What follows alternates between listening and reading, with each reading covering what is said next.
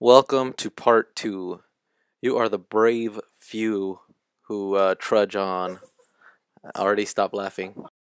Okay, so so here I am in Photoshop, and what you're looking at are hands, beautiful hands. They're mine. And uh, if you have a picture phone, which you probably do, you can take your own reference shot. So that's what I do every time I need. So well, you know, I used to ask my hands to hold, or my hands. I used to ask my friends to hold out their hands, and uh, so that I could draw them. But nowadays, you can do it all yourself. You can see exactly what you're taking pictures of. Um, so, as you can see, I didn't draw hands. I just took a picture and then drew over it, and it's very, very easy for you to do the same thing. Um, one thing to be careful of is, or are your layers. So you'll notice that I have hands in the foreground and hands in the background that look a little darker because they're further behind and under my hands. And um, just be sure that that you know that you're organizing everything and you're, you make you're making sure of where everything is at. Um, so here, one of the uh, things that I had to worry about is having the paper between my fingers. So some layers I want in front, some layers I want behind.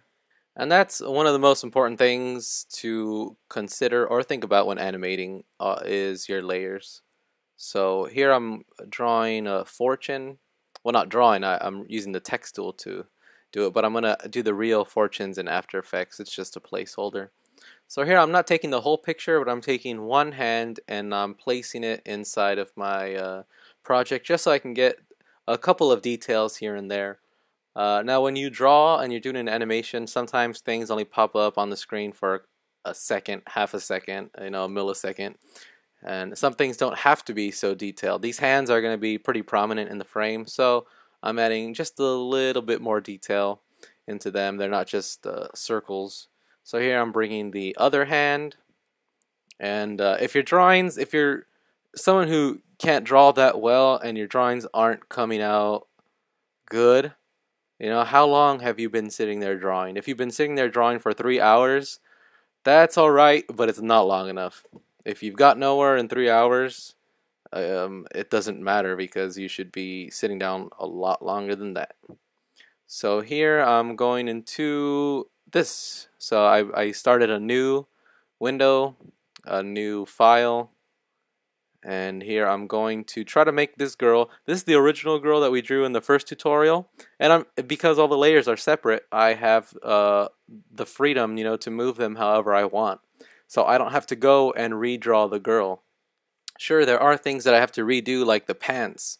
So here instead of doing the ovals I did have to go in and do a little bit of drawing but I'd rather draw just the pants than to draw the whole girl again so keep that in mind too. If you're going to be using the same character over and over again in your uh, piece, uh, draw them in a way or organize that character in a way that could be reused.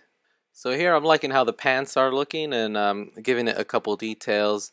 I'm using the brush tool and I'm, I'm making it feather so that uh, my lines aren't too uh, dramatic and I'm basically done. Like all I had to do was change the pants, change the feet, and it's the exact same person from uh, our first tutorial.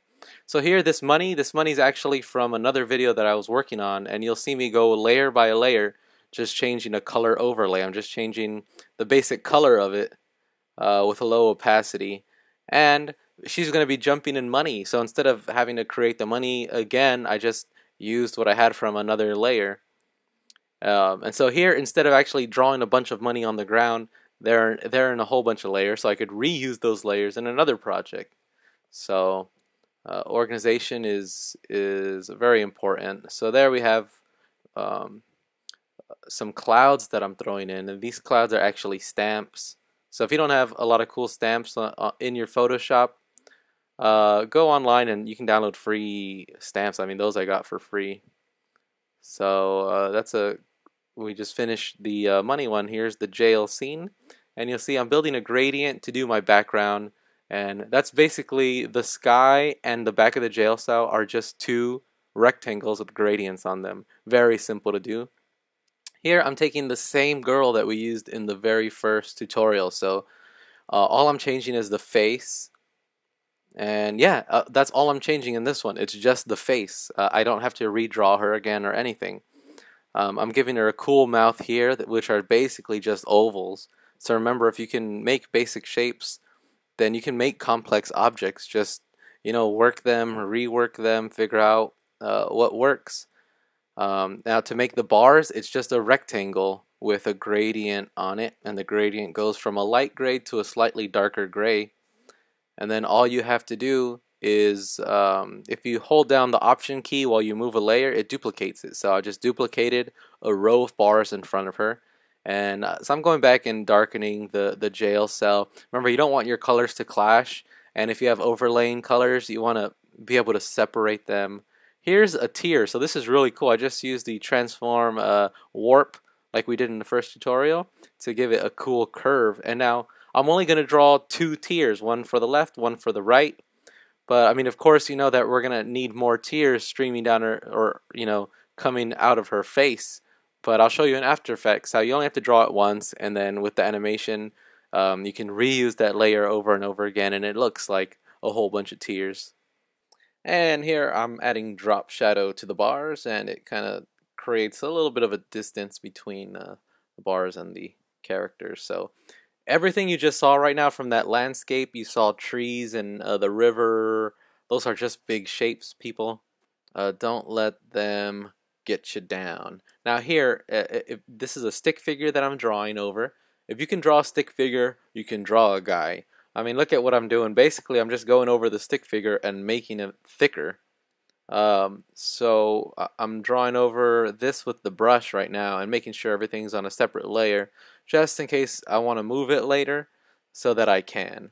Um, I'm just using the lasso tool kind of to find the shapes and there again there's an oval for a head. This guy's going to be in the background and you're not going to see him.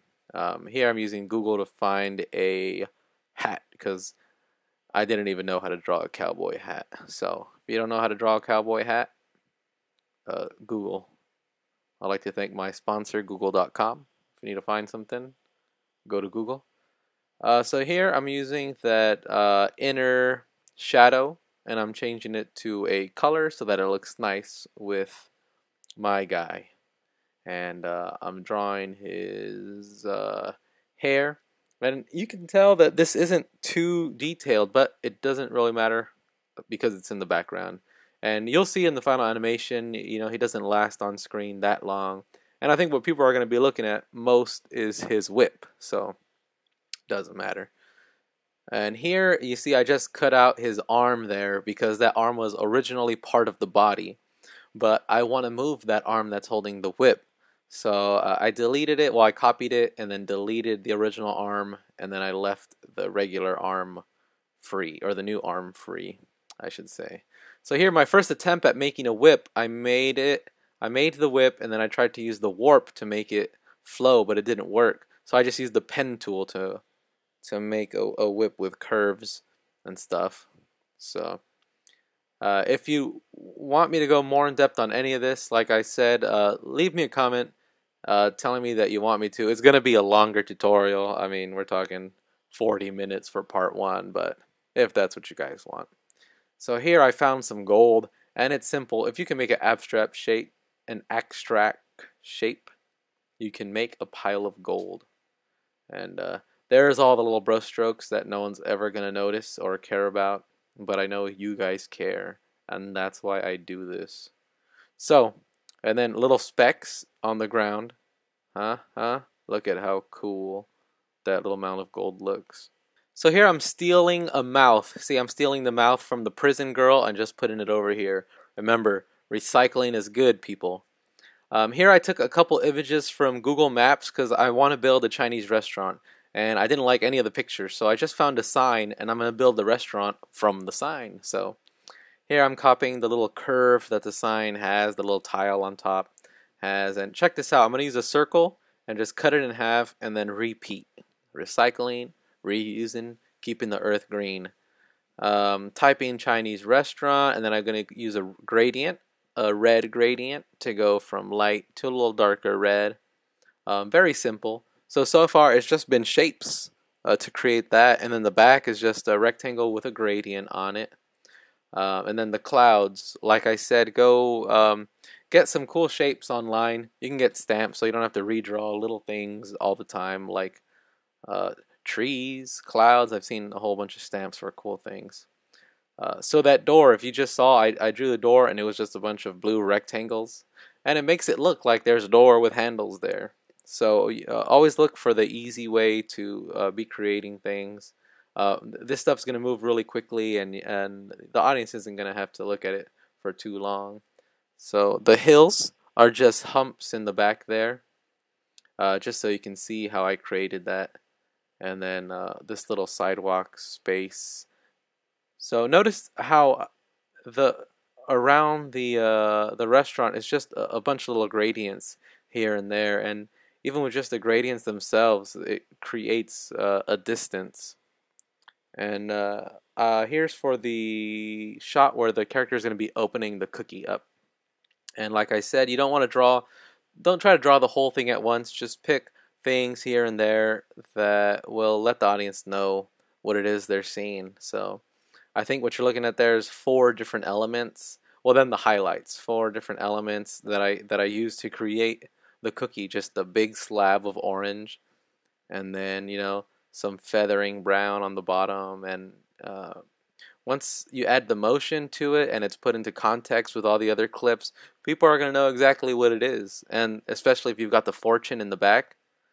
Um, so uh, in animation, you don't always have to make things look realistic, unless that's what you're going for, if you're going for a photo real look. Um, so here, I showed you guys how to animate the hands. Uh, this is me in After Effects, kind of uh, animating uh, the girl. She's happy. She just finished her meal, so she's gonna grab the fortune cookie and she's gonna hold it up in the air, and then we'll see the the sun rays come in and uh, you see me there manipulating the the position of the fortune cookie. That's basically all I did. Uh, if you press P in After Effects on one of your layers, um, it'll let you uh, manipulate the position. Here I'm changing the money. So this is the splash. Our character is going to splash into the money and it's going to fly up.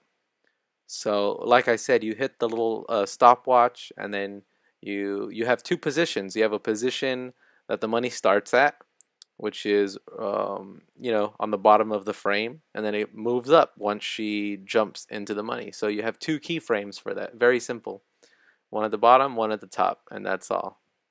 So uh, she's going to be jumping in to the money. So uh, part of the money on the bottom is going to come into the frame and then she's going to jump into it and originally, she was going to jump into a pool of money, but that's where storyboarding comes in. Eh, um, you don't need to add too many details if you don't have a lot of time. And uh, I wasn't getting paid too much for this job, so I wasn't going to add uh, a lot of details. So here I'm going to show you how I do the tears. So like I said, we're only we're using a left tear and a right tear. And you really could have only just uh, built one out in Photoshop, but um, what you're going to do is you're going to animate them going down off screen, right? So that's step one. And then after that, you just give them a little curvature. And after then, you want to change their rotation so it looks like they're facing downward once they once they hit the apex of the curve and start to go uh, down. So, and after that, it's just duplicating the layers, and it looks like there's a, a stream of tears just coming out of this girl's face once she's in uh, jail. So, uh, of course, you guys know what you're seeing right now uh, took me a long time, hours and hours to do. So, if you're working for hours and hours and you're not getting anywhere, good. Um, that means you're doing something right. Um, so, I mean, if you notice when I'm working on the timeline, I'm adding stuff, I'm deleting stuff, but that's just uh, how long it takes. And actually, this was a quick job though. So uh, what you're seeing here is probably six hours maybe to animate everything, uh, to build and animate. Just because these were so simple, they were just um, basic shapes. But then after that, uh, even after I finished in After Effects, I still threw everything into um, Final Cut, and then did the editing, and then added the voice. Well, which was just my voice; it was a voiceover.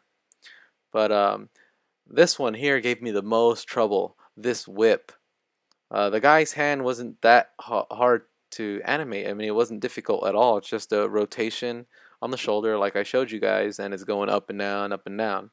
The whip, however, you can parent the whip to the arm layer, but it doesn't mean that you're gonna get that uh, flow that a whip does. You know, it slashes forward and then it whips back, um, and, and, you don't get that when it's just a picture. Now, what I could have done is drawn a, a whip in different positions. And as he moves his hand down, you'd see the different whips kind of move towards the girl and then snap back. But I didn't want to do that. So one thing I did was basically change the rotation on the whip. And then even when that wasn't working, I went into the uh, the Bezier warp in After Effects. And the Bezier warp in After Effects kind of works like the transform warp in Photoshop that I showed you guys in the first tutorial. So one thing I want to do to accentuate the hits every time she gets hit with a whip is to add this and it's like an orange or a, a yellow spark looking thing. And every time she gets hit I want one to pop up so it's only going to last for like a frame or two.